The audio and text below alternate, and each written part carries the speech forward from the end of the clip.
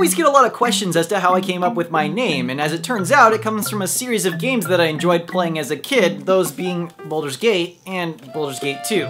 As you can see, I actually picked both of these up secondhand about 10 years ago from I think a half-price books. And as it turns out, a new game has come out that's kind of like a spiritual successor to those games called Pillars of Eternity. The game was developed because of Kickstarter donations. Obsidian Entertainment wanted to go back to their roots and have 100% creative control over a product, so they crowdfunded Pillars of Eternity. And in many ways, this could be one of the most successful Kickstarters I've ever seen. With a fresh coat of paint and new engine, this game takes the concepts presented in those older games and streamlines and updates them with new mechanics. If you're used to playing Baldur's Gate or Icewind Dale, you'll sometimes not be able to shake that feeling of deja vu. Occasionally, this game will literally just copy and paste an older game's ideas, specifically Baldur's Gate. But they had to change some things as to not be a part of the official Dungeons & Dragons universe. So things like spell names, even though remarkably similar to those older games' spells, will have different names. Even so, you can easily tell that most of the game's functionality and mechanics are taken directly from Baldur's Gate or Icewind Dale. So if you're used to those games, you will know exactly how this game plays. And that doesn't mean that they didn't add more where necessary and make a potentially better version of those classic games. So as Baldur's Gate is one of my favorite video game series, how is Pillars of Eternity? Let's find out. You begin the game by creating a character from a variety of races and classes, most of which play similarly to any of the older D&D classic games. Alright, now I can roleplay as Jake Sully! They'll never know I'm here. You could also be someone who kinda looks like the mouth of Sauron.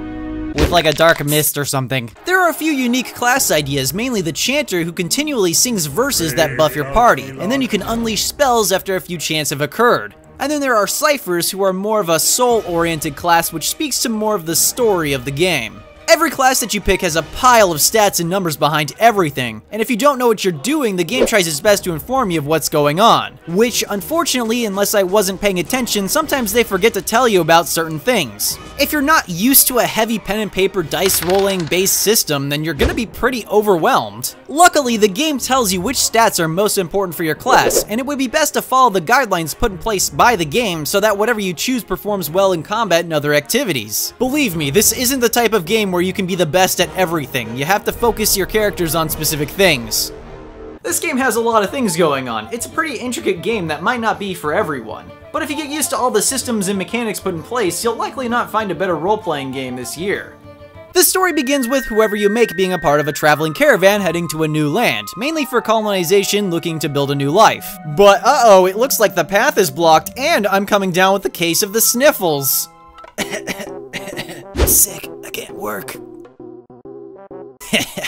Suckers. Uh-oh, again, it looks like everyone was massacred. And it just so happened to take place while I was off picking berries for a sickness that I'm not sure I even had yet. But it's okay, it's okay, don't worry. I'm a wizard. Oh no, a storm!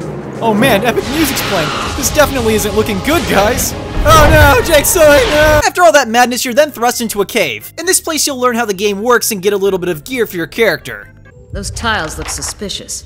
Oh really, do they? Do they look suspicious? They're freaking glowing! Of course they look suspicious! Eventually you'll end up back outside where a strange device and a weird ceremony are taking place. The strange device activates and seems to take you to another plane of existence. This device and the ritual in combination with the weird storm seem to have given you weird powers which in this game is referred to as being a watcher. Someone who can peer into the soul of a host and see scenes from current or past lives. You don't really have much control over what happens or what's shown to you, but nonetheless they play a pretty important role throughout the game. For example, you come across this guy named Nanton. He seems like a pretty alright guy, you know, a straight shooter. He tells you about this cave to the north that supposedly has a bear in it, and I totally didn't go to that earlier and die. Also, I forgot to mention that his friend died there and he's really sad about it, but he doesn't want you to go to the cave.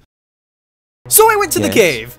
And after taking revenge on the bear and speaking to the lingering soul, who just so happens to be that guy's friend, he alludes to the fact that he was indeed murdered, or at least betrayed to the point where the bear could finish him off. And oh my god! He lied to me. So now you have some interesting decisions to make. Do you hunt him down and confront him about this? Or do you just let it be? It's stuff like this that puts a really engaging and interesting spin on a lot of the ways the quest can unfold due to having your character be a watcher. I like it.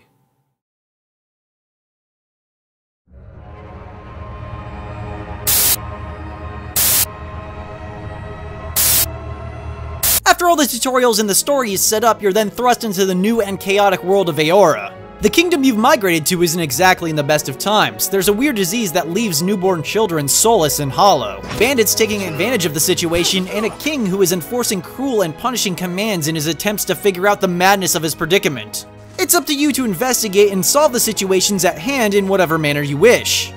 Want to talk about the story too much because the game is so heavily story based that I don't want to spoil too much of what's going on for you guys.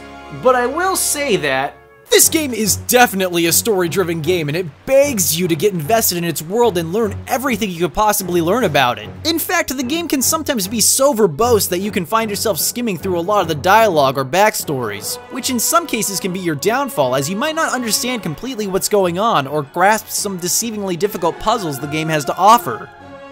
In 2602 AI, over five years following the invention name Shadwin, most of them only have one word. I love that math algorithm.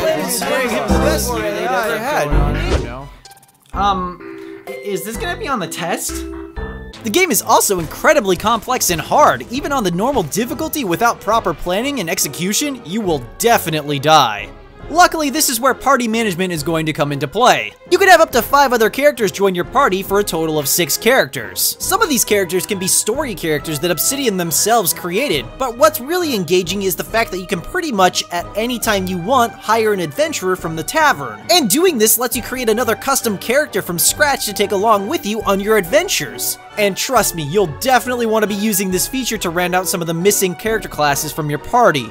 As I said before, each character class isn't really a jack-of-all-trades character. They're all really specialized, so it's really great that they added this feature into the game so that you're not necessarily lacking in any specific area or completely locked out of a piece of content the game has to offer. Now let's talk about the graphics. They're good. Now let's talk about the combat. Well, it's good too, but it might not be something you're used to seeing. Everything is super tactical. It can sometimes feel like you're playing a huge game of chess against the AI, or yourself. I mean, this is pretty much how most encounters will play out. Oh man, I gotta send my tank to the front lines. Pause. Okay, I'm gonna do a super mega fire- wait a well, maybe I'll do this spell instead. No, fireball, maybe. Okay, fireball. Bang. It can also be incredibly overwhelming as you have so many different actions and spells you can use, it's hard to know what you should be doing and when. But once you learn all of it and start messing around and learning all the different spell mechanics and adapt some strategies, you'll start flying through some of the encounters with ease. What makes it even better is that the game incorporates its own fast and slow modes so that you have a little bit of manual control over the pacing. Because let's face it, this is a game where you have to pause. A lot. Anytime you go into an encounter, the game is automatically set to pause so that you can tactically move your characters around and prepare them for combat. And if you don't pause the game, then you're likely going to regret it because you're going to be dead. Luckily, or perhaps unluckily, depending on how you do in the game, there are some new systems in place that keep you going for longer. In the older Baldur's Gate games, you would have to rest quite a bit because all of your spells would need to be reset and all of your health restored. Now when you rest, not only will you get a full heal on your characters and reset your more powerful spells, but your characters have a per encounter skill that they can take advantage of. My wizard here can cast a little AoE bolt twice per battle, and it's... Epic!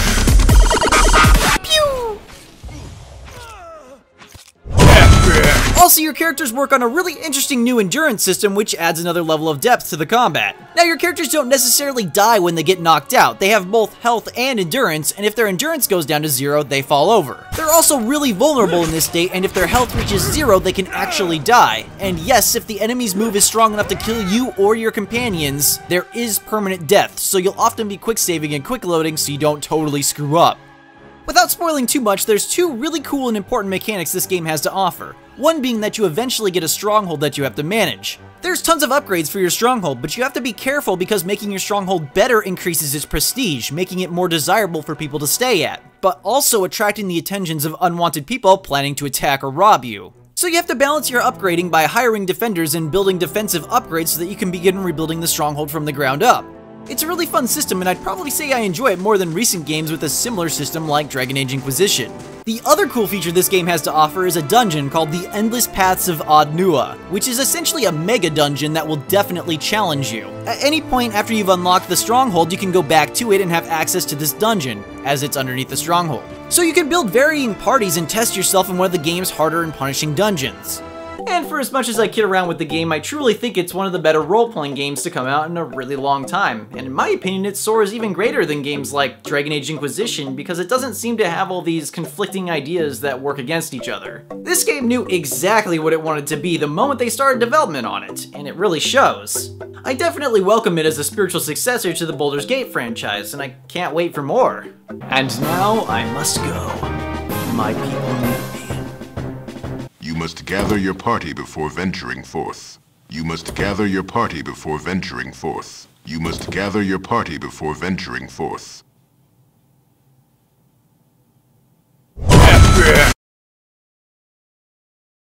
Guys, thank you so much for watching my video. I hope you guys enjoyed it. If you want some more videos like these, you can always click that subscribe button. And if you like the video, why not click like? If you want to stay up to date on everything related to the channel, then you can go ahead and follow me on my social networks. Links down in the description. I also want to take this moment to thank some of my Patreon supporters, so special thanks to Harry Gaynor, Juan Holguin, Taylor Van Gilder, and Lars. If you're interested in watching some more videos, I got two videos for you right there. Monster Rancher 2 and the top 10 silliest guns in video games. And as always, thank you guys so much for all the support, and I'll see you guys in the next episode.